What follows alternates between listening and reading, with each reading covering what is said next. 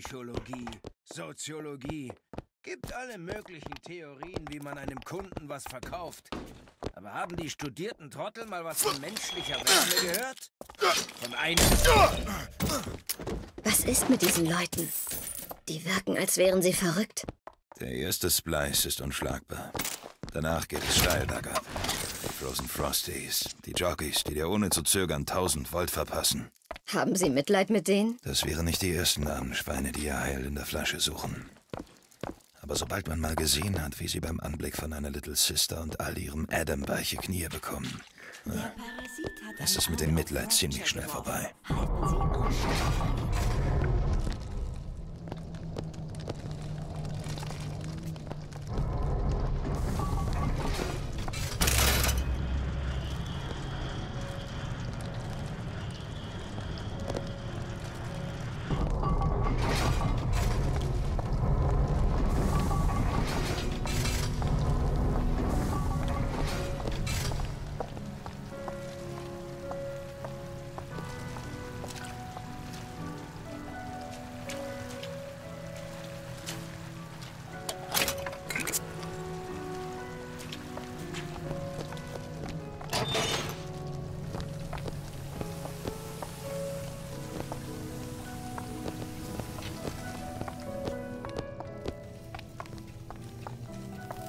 geschlossen.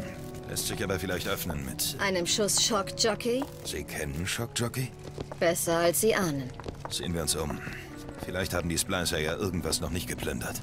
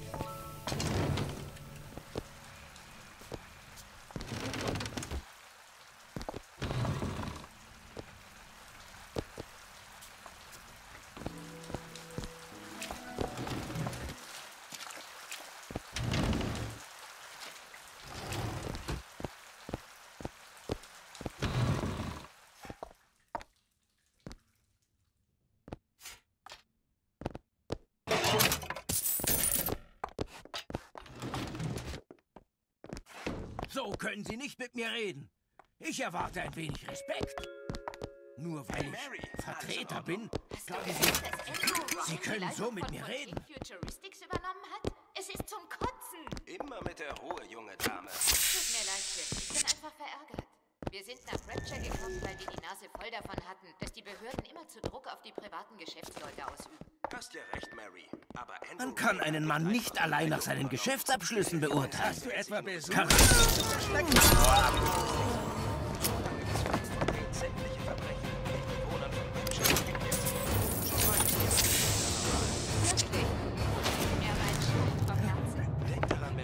Bloß, das habe ich nicht verdient. In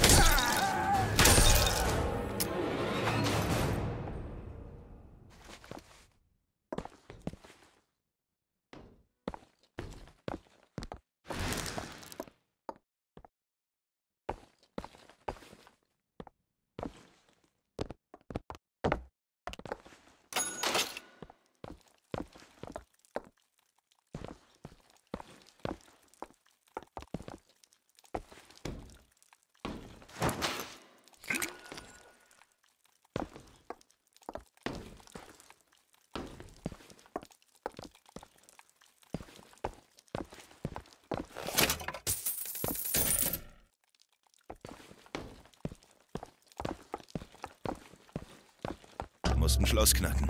Eine Sekunde. Geschafft.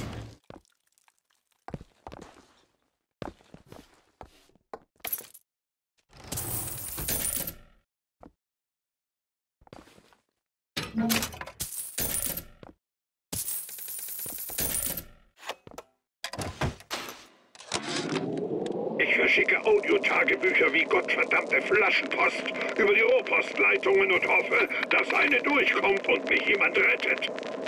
Wenn Sie dies hören, schicken Sie Hilfe. Ich halte mich im Schuhgeschäft versteckt. Der Code lautet 0928.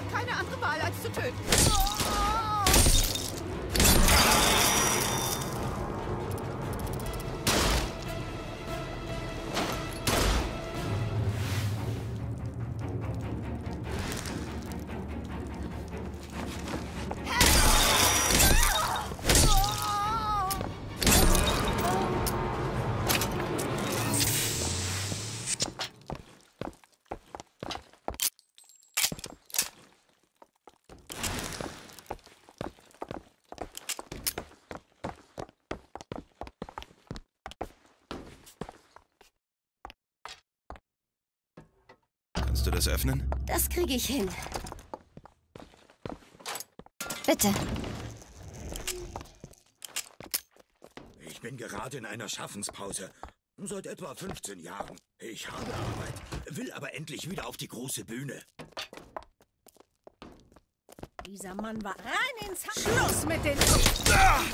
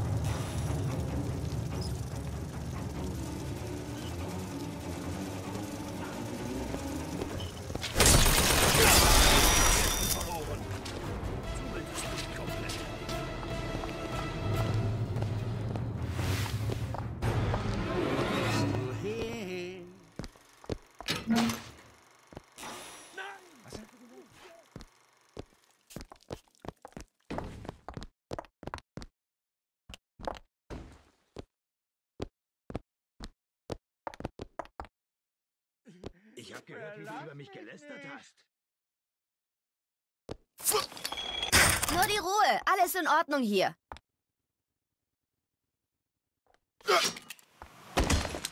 Langsam wird's langweilig.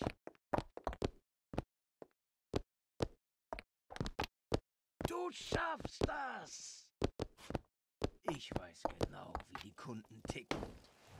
Sie alle manipulieren.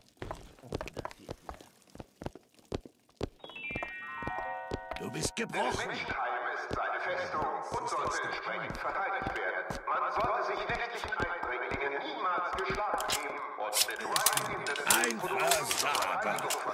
Aber das ist ganz bestimmt nicht meine Schuld. Auf eine eingeladen. Mit ein paar anderen Kollegen noch. Wie Freunde das eben machen. Wir Gesprächsbedarf.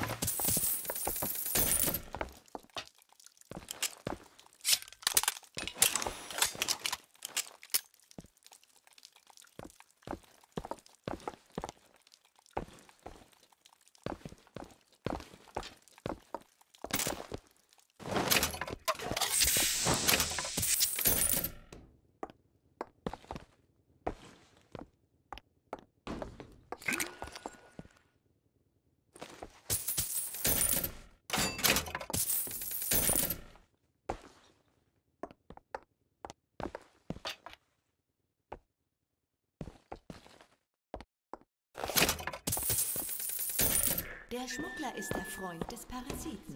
Es ist Ihre Pflicht, den Schmuggler zu melden.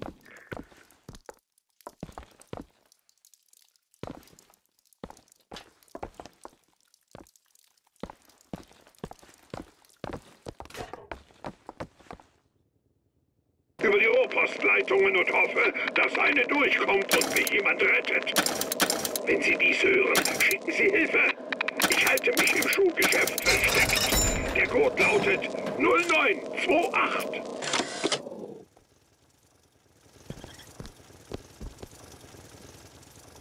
Warum hast du das getan? Reicht dir nicht? Wer zum Henker bist du denn? In meinen eigenen Namen!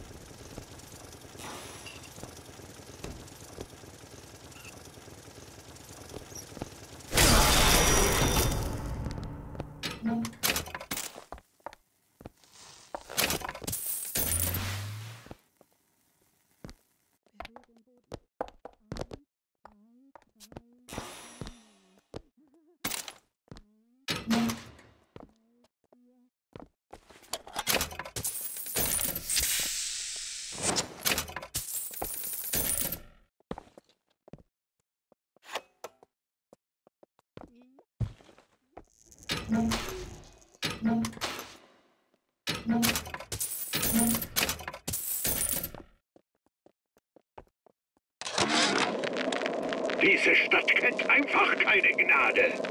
Alle meine Audiotagebücher mit den Hilferufen sind ungeöffnet zurückgekommen. Mit der Aufschrift Zurück an Absender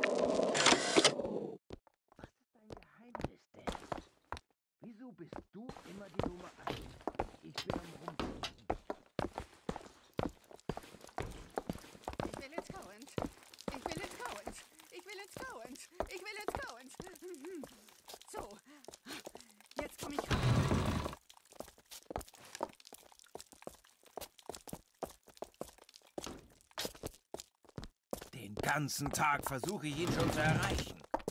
Ist er denn nie da? Ist er vielleicht? Ich muss zugeben, wenn das zu meinem Interesse. Die Nachricht. Was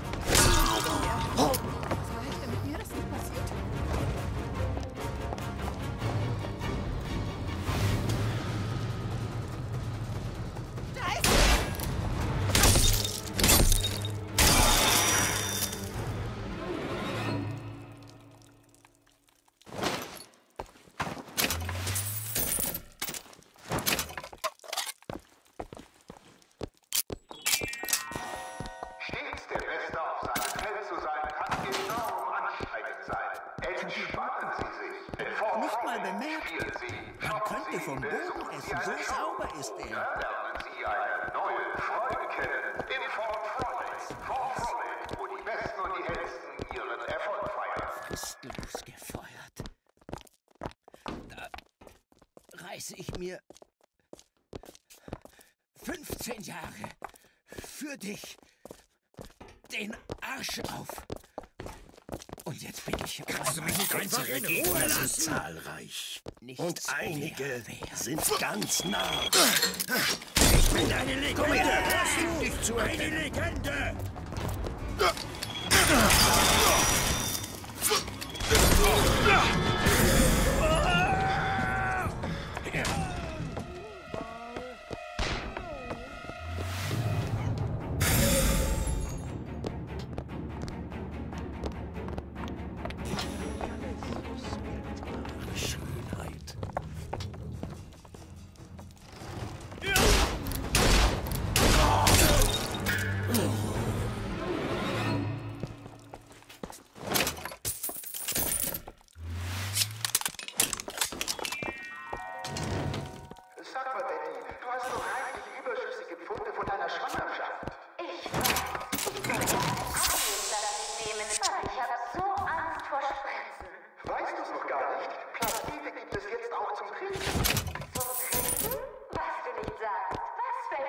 Fällt der Wissenschaft als nächstes ein?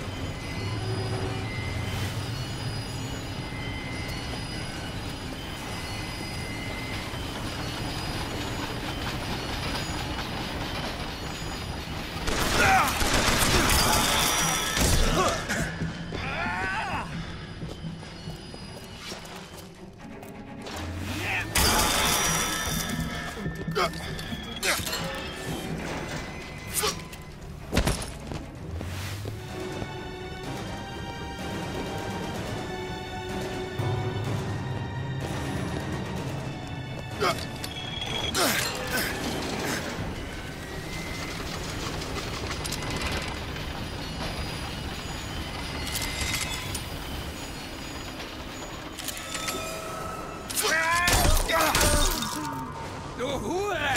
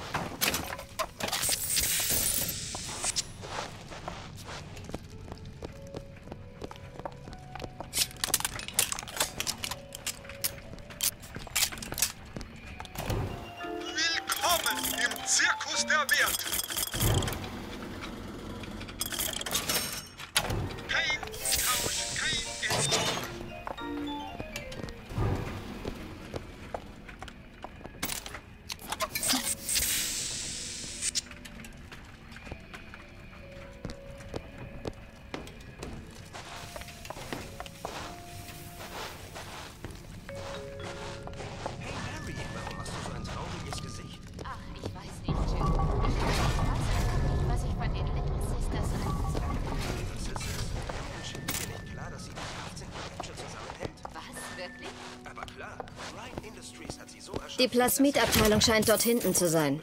Da finden wir bestimmt etwas Nützliches. Fische im klaren Wasser. Wir alle brauchen sie. Und wir alle brauchen die Little Sisters.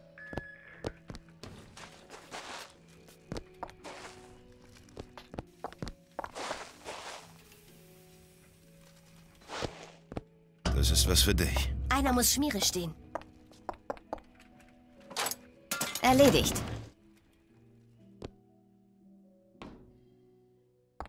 Ist nicht dick. Er hat schwere Knochen. Intellektuelle Übermenschen, die im Zuge ihrer Entstehung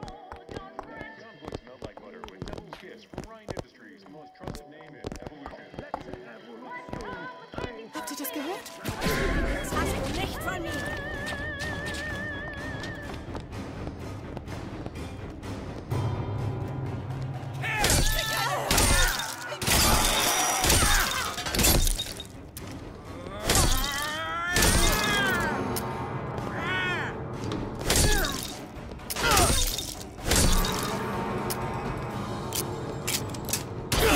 Ich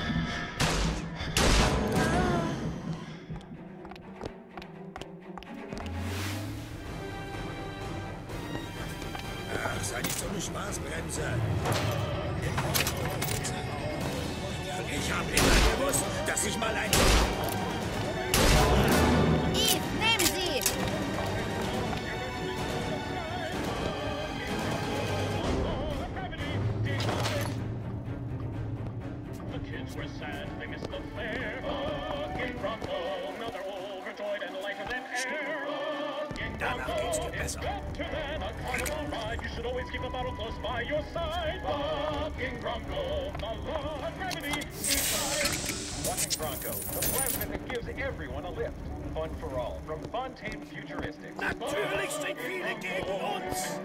And remember, Lucky Bronco is also useful around the home.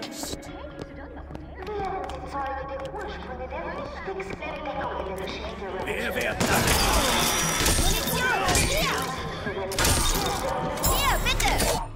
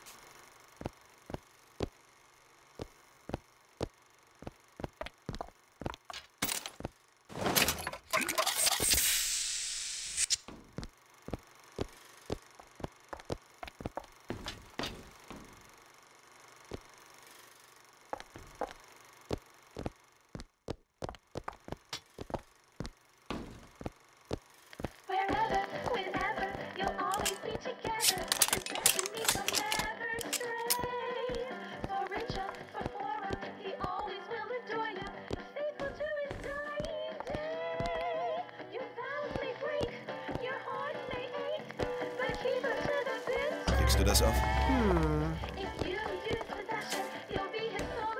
Geschafft.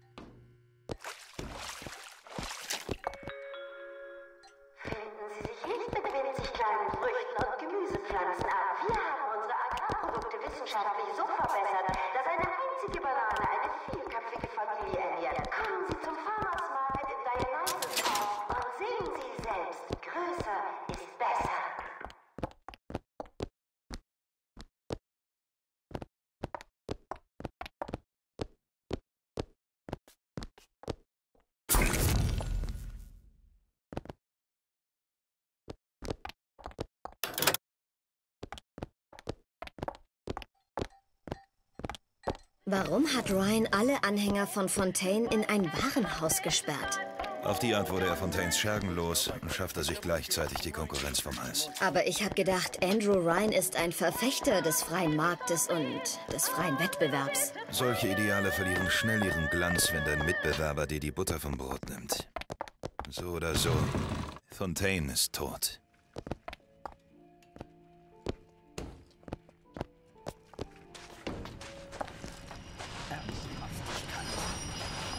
hier bei mir gefehlt.